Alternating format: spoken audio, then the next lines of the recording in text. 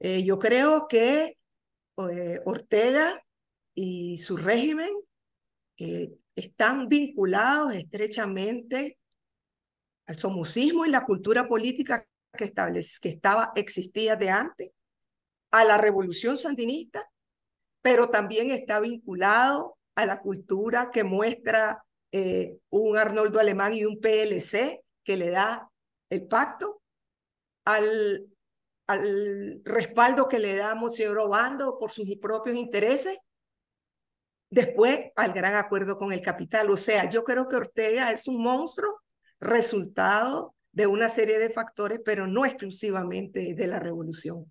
Es bien difícil eh, comparar a Ortega sobre todo con, con el último, Somoza, ¿verdad? Porque acordate que la dictadura fue de más de 40 años, era una dictadura dinástica. Eh, eh, Somoza de Baile bombardeó ciudades, fue genocida, pues, responsable de genocidio, eh, porque bombardeó ciudades y, aniquiló miles de nicaragüenses, mujeres, niños que no tenían nada que ver con el conflicto, pero estaba enfrentado a una, a una lucha de carácter militar ya entonces.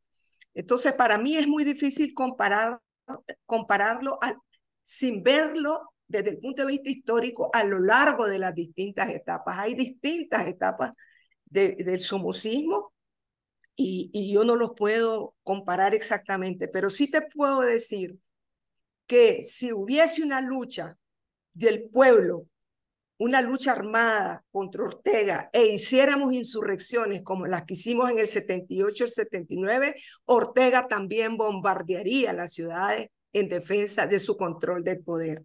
Entonces, para mí, por eso, ambos dictadores son verdaderamente responsables de crímenes, ambos son eh, asesinos. Para mí también hay eh, un, un asunto clave y es que así como Somoza manipulaba a, a, sus bases con el discurso del anticomunismo, ahora Ortega los manipula con el discurso del antiimperialismo.